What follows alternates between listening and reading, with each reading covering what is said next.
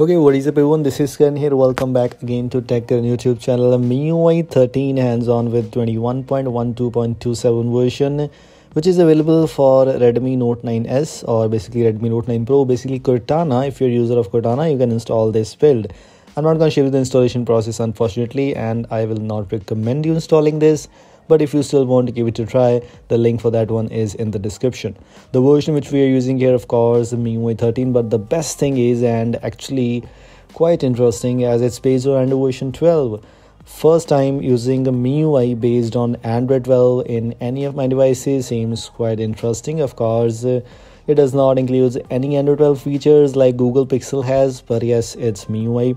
December security patch is included and of course it's supported ROM. So yes, bugs were expected, bugs are already there and uh, if still want to give try, you can the things is these are these are the default things and UI etc. The control center is not changed in this one. If you don't know, I made a video on MIUI 13 first look, so you can go and check it out. The things which you get in MIUI 13 almost same here with this one too. It's based on China, of course. In China, MIUI 13 is released, so yes, don't expect Google Apps etc. But yes, you can install Google Apps and Google Play Store, Magisk etc. I will try to provide the link for the XDA post, and all thanks goes to the developer, and the link for that one is already in the description description.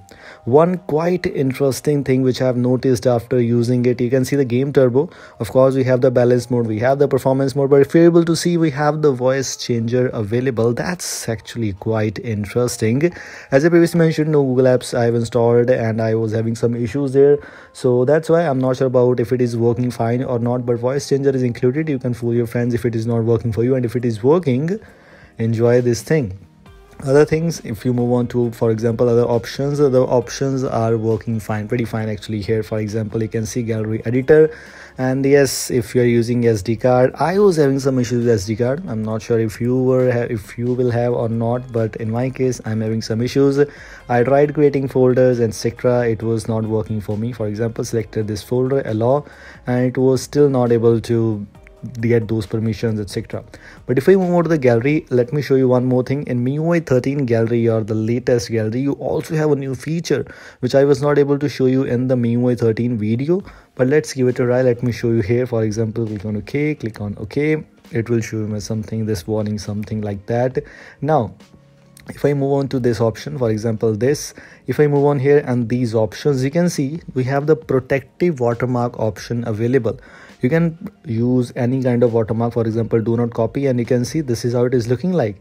This looks quite good and quite interesting one and the first time this feature is available even though i haven't tried out this feature in any other version like MIUI 12.5 beta versions or MIUI 12.5 enhanced version that feature was not there. But in this we finally have. You can see the watermark is there and that looks quite good and you can see this is what we have MIUI 13 of course, according to Xiaomi, this update is a pre-release, so the control center is not implemented yet, but maybe in the upcoming updates, you might see that. But let's hope. By the way, this is not official version for the Redmi Note 9 Pro or Redmi Note 9s users. So yes, this is a ported ROM. Of course, bugs were expected. Even USB transfer is not working. I will try to list the bugs available or as I previously mentioned you, I will provide you the XDA post link that would be very helpful for you if you check out the video toolbox that's also included and the dolby atmos is there which is of course not working. Things which are working and things which are not working all the things are already available. Make sure to check out that. Don't comment and don't complain about things which i have not shown you because this is not good for daily driver in my opinion if you still want to give it a try you can. The security app of course this has the china options available for you. Also if you move on to the additional settings you'll be able to see the memory extension feature. Add 1 gb of ram which will definitely not work for you. Same like that we also have the refresh rate option available. That looks quite interesting one. If you move on to the special features you have some sidebar related things which means the new options at least uh, which were inspired from MIUI 13 is present there.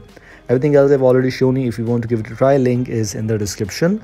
These were things i just want to let you know. I hope you like this video. Thanks for watching. I'll see you next video.